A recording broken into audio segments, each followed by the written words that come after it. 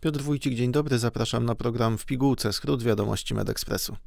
Senacka Komisja Zdrowia odrzuciła w całości projekt ustawy o jakości w opiece zdrowotnej i bezpieczeństwie pacjenta, tym samym zaproponuje Izbie Wyższej jej odrzucenie podczas zaplanowanego na marcowe posiedzenie głosowania.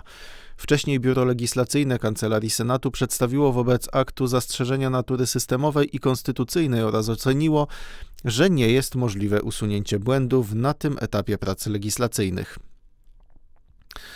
Amerykańska Agencja Żywności i Leków będzie wymagała od zakładów mammograficznych informowania pacjentek o gęstości ich piersi. Kobiety z tak zwanymi gęstymi piersiami, czyli zbudowanymi właściwie wyłącznie z tkanki gruczołowej, są w grupie pacjentek, które powinny ze szczególną uważnością podchodzić do badań kontrolnych w kierunku raka piersi. Tkanka gruczołowa może utrudniać wykrycie zmian nowotworowych w mammografii. Gęste piersi są również związane z nawet czterokrotnie wyższym ryzykiem zachorowania na raka piersi. Jak pokazują dane, nadal wiele kobiet nie bierze tego czynnika pod uwagę.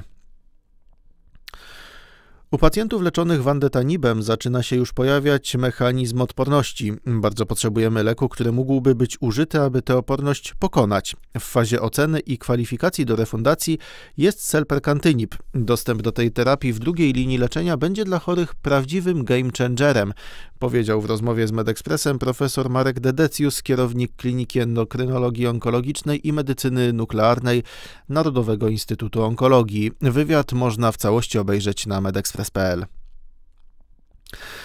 Całe leczenie onkologiczne i jego postęp definiuje się również w ten sposób, by leczenie było jak najmniej uciążliwe dla chorego i jak najmniej wiązało go z łóżkiem szpitalnym oraz jak najszerzej stosowało takie formy, które są bardziej przyjazne. Forma podskórna to jeden z elementów tego postępu. Mamy w Polsce już od kilku lat dostępny dla pacjentek z rakiem piersi jeden z leków podawanych w taki sposób, kolejny jest w procesie refundacyjnym.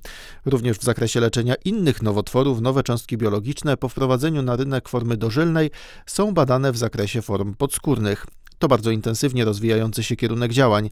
Leczenie systemowe w zakresie różnych nowotworów, w tym również raka piersi, w dużej mierze prowadzone jest w trybie jednodniowym, powiedziała profesor Barbara Radecka, ordynator Kliniki Onkologii Opolskiego Centrum Onkologii imienia profesora Tadeusza Koszarowskiego w Opolu i Uniwersytetu Opolskiego w wywiadzie dla Medekspresu. Wywiad w całości można obejrzeć na naszej stronie internetowej i tam również więcej informacji ze świata medycyny i ochrony zdrowia.